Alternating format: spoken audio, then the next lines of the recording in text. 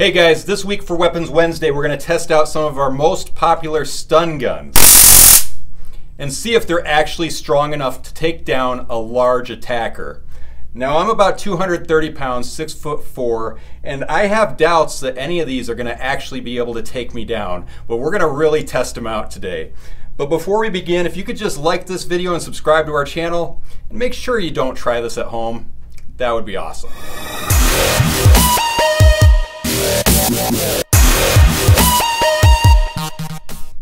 Now the first stun gun we're going to test out today is the Black Venom stun gun. I guess the thing I like the most about it is that you can actually strike with it too. It's strong enough that you could actually punch with it. And the thing with stun guns that I always tell people is that a stun gun may not be strong enough to actually take someone down. If someone's high on drugs, if someone's on crystal meth, a stun gun's probably not going to be effective with them. So you need to have other options. You need to either be training in martial arts, learning some self-defense techniques, or have something else available to you. And this stun gun is awesome in that respect. It actually has these little spikes on it that could be used to defend yourself if you needed to. So I really like this stun gun. Um, one thing you should also know is that stun gun laws are really, really strict. So you need to check your city, state, country laws to make sure that this is legal in your area because there's different laws to what can be sold to an area, what can be owned, and what can actually be carried.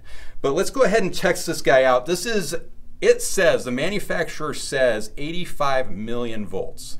Now, if you've watched any of my other stun gun videos, you know that that is not really a number you can take seriously. Uh, stun gun manufacturers just kind of throw a number onto their packages to try to make them look like they're stronger than other stun guns. Uh, so when I see 85 million volts, I just know that that's not going to be the case at all. Um, but I know for a fact this one is strong. Uh, we've tested it out before. I've never tested it out on video but it's got a pretty strong sound to it, and that's usually a good sign that it's going to be a strong stun, stun gun. So what I'm going to do is I'm going to hand this over to Amanda, and in my old videos, you always see her kind of come up to me and hit me in the arm with it. Today what we're going to do is I'm going to try to kind of, I'm not going to say attack her because that just sounds mean, but I'm going to kind of come up on her and she's going to try to push me away with this thing and actually see if this will stop me. So I'm a little bit nervous about this video. Amanda's deadly nervous about this video. Um, but we need to test these things out. We need to see if they're going to be effective. So let's go ahead and give it a try.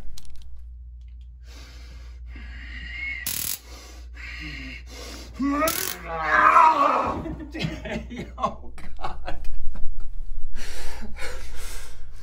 Okay, so I'm going to be honest with you. That took about six takes to get it right. Um, we tried it a bunch of ways. What kept happening is I would come at her, and then as soon as it would hit me, I would jump back. And it took like everything in my power to like keep going towards her as I was attacking because it's like instinctual that when you hear that shock, when you get your first shock, you jump back. So in that respect, even if this isn't as strong as it needs to be, a stun gun is effective. This is the weakest stun gun we're going to test today. It it definitely hurt. Amanda held it on there the entire time. The whole time it was hooked to me, she was holding it on, and it hurt. It hurt really bad.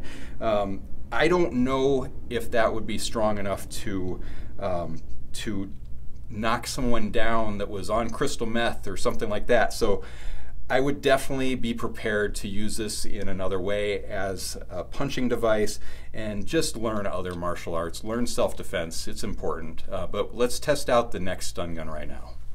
Okay, so the next stun gun we're going to test out is the Pink Comfort Grip stun gun.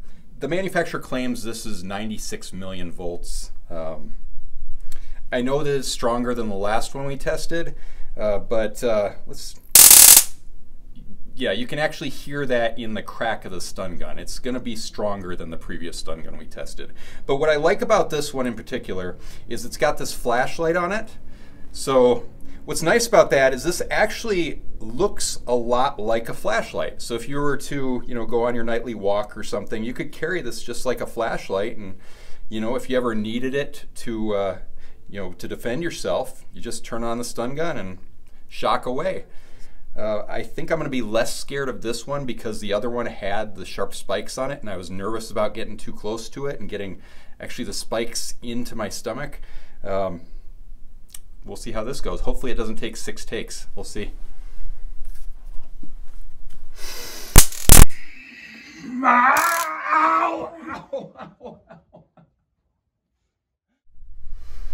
Okay, so that one took three takes to get it right. Um, because every time that sound went off, I'd instinctively jump back. Uh, but uh, Amanda actually got me really good. She got me right in the stomach. I'm having her shock me in the stomach instead of where you would actually want to shock someone. If someone's attacking you, you want to shock them in either the neck, the groin. You want to shock them somewhere where it's actually going to take them down. And the stomach is not the best place to do that. But I honestly don't want to get shocked in the neck, so I'm good with the stomach. I think it gives us a good test as to whether these things will work. This was definitely stronger than the last stun gun I tested. Um, I like it. I think it's pretty awesome. And for a small stun gun that's compact and portable and actually works as a flashlight, I think it's pretty awesome. So let's go ahead and test out uh, the last stun gun, and that is actually one of the big stun batons. All right, so the last stun gun we're going to look at today is the Thunderbolt Stun Baton. I'm actually super nervous about this. I'm still shaky from the previous stuns, uh, so you'll have to forgive me for that. But um, this is one of our most popular stun batons, and I had to test it out.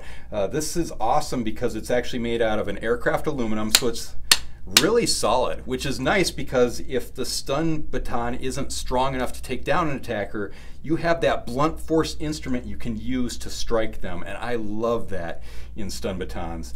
Um, some of the things that are great about this is it has this belt clip on it that just makes it ultra convenient to carry around. I mean, I, I, like that. I actually like this better than the stun batons that have holsters on them because the holsters just, I don't know, they, it's kind of awkward taking them out and kind of slow, whereas this just slides in and out so quickly.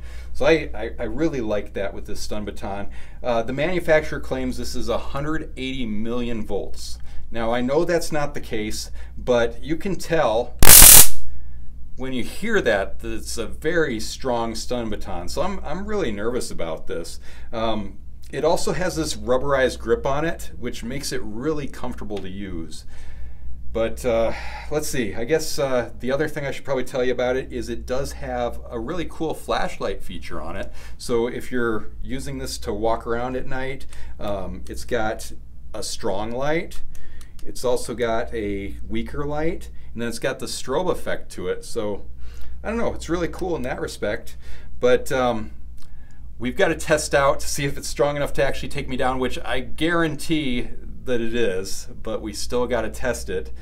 Um, so I'm going to go ahead and pass this over to Amanda and let's see what, what it does.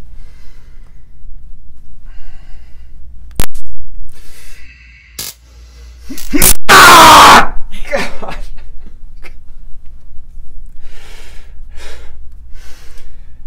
Okay, so that took two takes. Um, she, she actually hit me right here, just above the solar plexus, which really, really hurt. Um, yeah, I, I, this this would definitely be effective. This would definitely be an effective weapon. Um, I'm starting to sweat really bad. Uh, it's probably time to end the video. If you have any questions, definitely leave them in the comments below. Be sure to check out karatemart.com to see all of our awesome stun guns that we carry because we have this huge variety of small ones, large ones, ones that uh, look like other things. Like we've got one that looks like a cell phone. I mean, it's pretty cool. Um, and until next week, we'll see you Weapons Wednesday.